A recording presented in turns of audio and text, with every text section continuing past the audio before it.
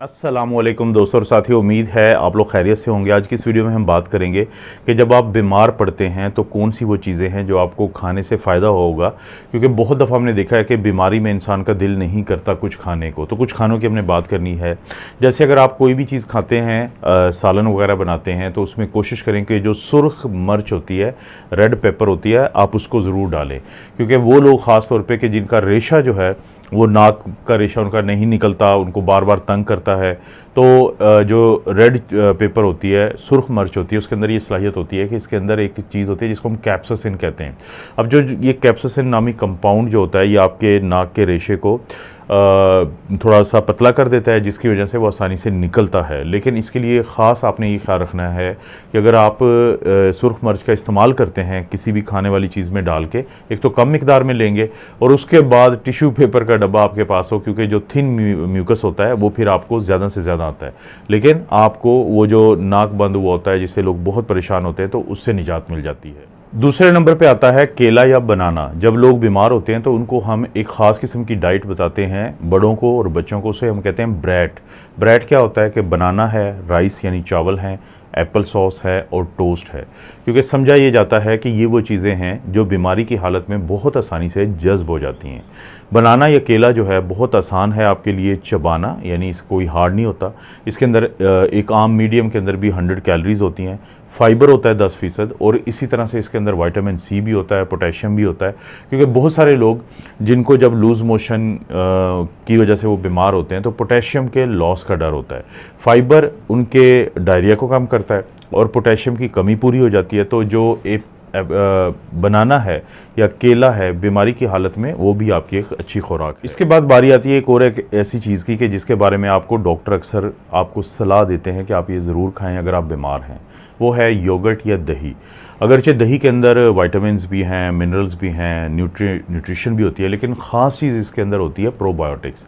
अब प्रोबायोटिक्स क्या होते हैं? ये अच्छे वाले बैक्टीरिया होते हैं। तो बहुत सारे वो लोग जो बीमारी की हालत में जिनका जो हाजमा है, वो ख़राब हुआ होता है तो उनके लिए जो दही है, वो बहुत ज़्यादा फ़ायदे की चीज़ है। इसके बाद बारी आती है एक ऐसी चीज़ की कि जिसको मेडिकल साइंस जब से आई है, उससे बहुत पहले से घरों में इस्तेमाल किया जाता है। कि जब कोई बीमार होता था तो उसको शहद चटाया जाता था, शहद दिया जाता था। या शहद को अभी भी जो घरों में ब्रेड के ऊपर लगा के दे देते हैं दूध के अंदर डाल के दे देते हैं, पानी के अंदर डाल के दे देते हैं, क्योंकि शहद जो है ना सिर्फ़ ये कि आपको न्यूट्रिशन देता है, बल्कि साइंस तो ये साबित कर चुकी है कि इसके अंदर एंटी माइक्रोबियल प्रॉपर्टीज़ हैं। मतलब ये कि ये जो जरासीम के ख़िलाफ़ काम करती हैं तो इसलिए एक ऐसी चीज़ के जो आपको बीमारी में कम मकदार में भी अगरचे दी जाएगी तो फ़ायदा होगा। ख़ास तौर पे वो लोग जिनको गला ख़राब होता है, जब वो शहद का इस्तेमाल करते हैं तो उनके लिए सूथिंग भी होता है एंटी माइक्रोबियल प्रॉपर्टी भी है, और और भी बहुत सारे फ़ायदे हैं। तो बीमारी की हालत में शहद का इस्तेमाल आपके लिए ज़रूरी है। इसके बाद अगर हम बात करें चाय की, टी की, कॉफ़ी की मैं बात नहीं कर रहा, मैं टी की बात कर रहा हूँ। टी के अंदर क्योंकि कम कैफ़ीन होती है, लेकिन इसके अंदर पानी होता है, और इसके अंदर पोलीफिनोल्स होते हैं, जो एंटीऑक्सीडेंट हैं।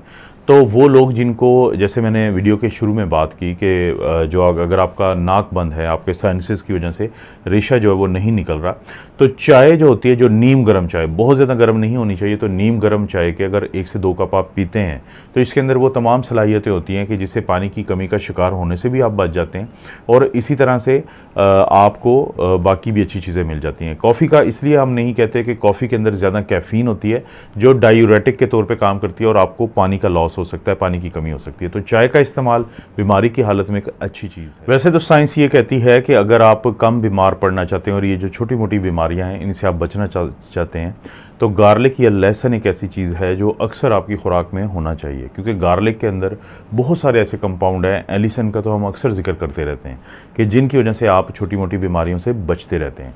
लेकिन वो लोग जिनको फ्लू हो जाए, वो लोग जिनको खांसी रहे, अगर वो अपने खानों में उन दिनों में गार्लिक का इस्तेमाल करते हैं, लहसन का इस्तेमाल करते हैं, और ये काम वो हमेशा से इंसान जो है सदियों से करते रहे हैं। तो उनको बहुत फ़ायदा होता है। तो कोशिश करें कि अपनी बीमारी के दौरान लहसुन का इस्तेमाल करने से आप बहुत सारी जो बीमारियों की शिद्दत है, उसको कम कर सकते हैं और वो फ़ायदा पा अक्सर जब हम लोग न्यूट्रिशन के ऊपर वीडियोस बनाते हैं तो जब भी ओट मिल या दलिया का ज़िक्र होता है तो हम अक्सर कहते हैं कि लोगों के जहन में ये बात है कि ये मरीज़ की खुराक है तो इसके अलावा भी इसके बहुत फ़ायदे हैं। इसका क्या मतलब हुआ? इसका मतलब ये हुआ कि जब भी कोई बीमार होता है तो हमारे घरों में होता है कि इसको दलिया बना के खिला दें। और साइंसी तौर पे भी ये चीज़ साबित शुदा है कि अगर एक मरीज़ है, उसको अगर प्रोटीन चाहिए, फाइबर चाहिए, न्यूट्रिशन चाहिए, वाइटामिन चाहिए, मिनरल्स चाहिए तो ओट मील या दलिया एक बेहतरीन चीज़ है। तो वो लोग जो बीमारी की हालत में जिनका दिल नहीं कर रहा होता कुछ खाने को तो वो कोशिश करें कि उन दिनों में, चाहे तीन से पाँच दिन हो, सात दिन हो, अगर वो दलिया का इस्तेमाल करेंगे तो उनको कमज़ोरी कम होगी, उनको बहुत फ़ायदे मिलेंगे और उनको न्यूट्रिशन ज़्यादा से ज़्यादा मिले और सबसे आखिर में भी एक ऐसी चीज़ की मैं बात करूँगा कि जो सदियों से इंसान इस्तेमाल करता रहा है, जब वो बीमार होता था। चिकन सूप, मुर्गी जो है, आप उसको लेके और उसका सूप बनाते हैं।